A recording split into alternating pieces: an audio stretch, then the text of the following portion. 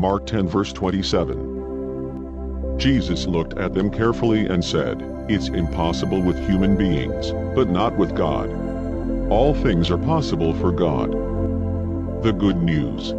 No matter how hard your journey, it is possible with God by your side.